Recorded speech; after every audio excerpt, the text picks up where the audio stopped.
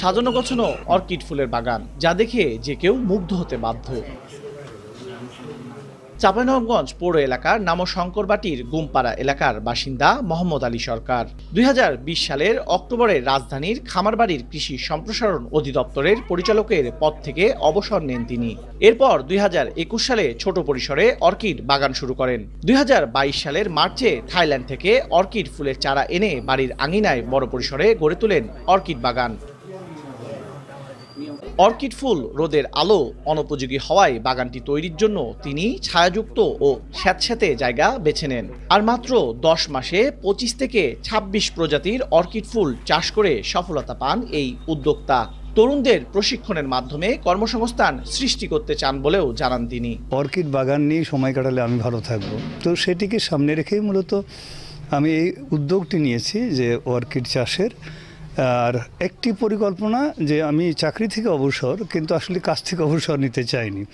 তো পাশাপাশি কাজটাও করা হবে এবং আমার এলাকায় কিছু যারা যুবক রয়েছে, যুবক শ্রেণি ছেলেমেয়েরা ছাত্রছাত্রী এবং যারা অবসর আছে, তাদেরকে নিয়ে আমি কাজ করার একটা পরিকল্পনা নিয়েছি। তাদেরকে দেখাতে চাই যে স্বল্প জায়গাতেই, বসত বাড়িতেই ইচ্ছা করলে যে কেউ ভালো একটি সময় কাটাতে পারে, পাশাপাশি নিজে কিছু উপার্জন করতে পারে।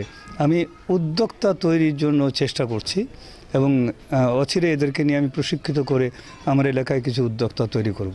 আমার এই অর্কিড বাগানে প্রায় পঁচিশ ছাব্বিশ প্রজাতির বা তারও কিছু বেশি প্রজাতির গাছ রয়েছে, কিন্তু এক একটা প্রজাতির বলা যায় যে চল্লিশ পঞ্চাশটি করে কালার আছে, রং, আইডি যেটি বলে, এবং সব মিলিয়ে প্রায় চার থেকে পাঁচ হাজার মতো গাছ রয়েছে এখানে বিভিন্ন কালার, রঙের যদি কথা বলি, তাও তিন চারশো রঙের, ঢঙের বৈচিত্র্যময় এখানে অর্কিড আমরা এই বাগানে পাওয়া যাবে।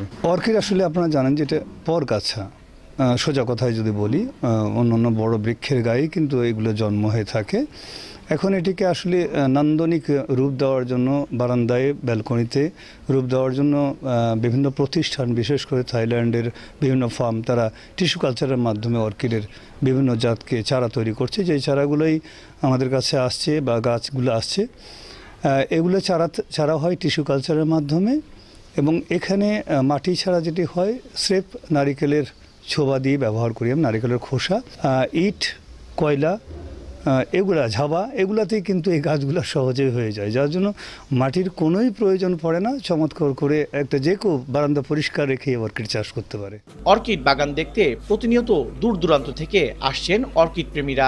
যে যেখানে আসার পর এর যে একটা অন্যরকম সৌন্দর্য এটা যেমন আমাদের যে মানসিক প্রশান্তি এটা একদিক থেকে দূর করতে পারে। আরেকটা দিক এই যে মানসিক প্রশান্তি দূর করার সাথে সাথে যে যারা বিভিন্ন বিষয় নিয়ে কাজ করতে চাচ্ছে বা মানে পারছে না তাদের জন্য এটা একটা বড় সুযোগ আমি এই প্রথম আমরা একটা ছোট্ট পরিসরে যে অর্কিড এবং অ্যাজিনিয়ামের বাগান দেখলাম। তো এত ছোট্ট পরিসরে এত সুন্দর একটা গোছালো বাগান এই শহরে আমরা এই প্রথম দেখলাম। আমাদেরকে হচ্ছে এই অর্কিড আহ, চাষ করা হচ্ছে শিখা। কারণ হচ্ছে এর ব্যাপক চাহিদা বা এর মার্কেট ভ্যালু অনেক বেশি যার কারণে আমরা চাই সবাই যে এটার বাণিজ্যিকভাবে যদি চাষ করা যায় বা এক্ষেত্রে আমাদেরকে স্যার যদি ট্রেনিং দেন সেক্ষেত্রে আমাদের অনেক বেশি ভালো হয়। তরুণদের মাঝে যারা হচ্ছে এখন মানে বেকার বসে আছে তাদের মধ্যে একটা উৎসাহ জাগাবে যে এই অর্কিড এডিনিয়াম চাষ করে হচ্ছে আমরা ইন ফিউচারে অনেক বড় কিছু করতে পারব। অ্যাডিনিয়াম অর্কিড বিভিন্ন ধরনের ফুল আছে। আমার অনেক ভালো লেগেছে আমি ওগুলো নিয়েও যেতে চাই। এদিকে বাণিজ্যিকভাবে কেউ অর্কিড চাষ করতে চাইলে তাকে সব ধরনের সহায়তা করা হবে বলে জানায় কৃষি বিভাগ। অর্কিডটা হলো আসলে আমাদের দেশে অনেক দিন আগে থেকে এটি চাষাবাদ হচ্ছে এবং সৌন্দর্য প্রিয় মানুষ এটি দারুণভাবে এটা পছন্দ করে। আমাদের চাঁপাইনবাবগঞ্জে অর্কিড চাষাবাদের একটু সম্ভাবনা দেখা দিয়েছে এবং এটা খুব অল্প জায়গার ভিতরে এটা করা সম্ভব। অর্কিডের একটা মূল্য অনেক বেশি অনেকে মনে করেন এবং সেটি একটা ধনিক শ্রেণির লোক কিনে থাকেন। কিন্তু আমাদের যে অর্কিডগুলো আসছে, এটি যদি আমরা টিস্যু কালচারের মাধ্যমে এটা আমরা বৃদ্ধি করি, অর্থাৎ এর চারাগুলো তৈরি করি টিস্যু কালচারের মাধ্যমে, তাহলে এটির দাম একদম নিম্ন পর্যায়ে চলে আসবে এবং সকলেই এটি কিনতে পারবে। অর্কিড ফুল বিক্রি করে গেল দশ মাসে ছয় লাখ টাকা আয় করেছেন উদ্যোক্তা মোহাম্মদ আলী সরকার। চাঁপাইনবাবগঞ্জে অর্কিড চাষে ব্যাপক সম্ভাবনা তৈরি হয়েছে। এটি বাণিজ্যিকভাবে চাষ করা গেলে এই অঞ্চলে কর্মসংস্থান তৈরি হবে।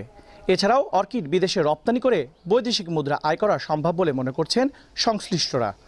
মোস্তাফিজ রকি, সময় সংবাদ, চাঁপাইনবাবগঞ্জ।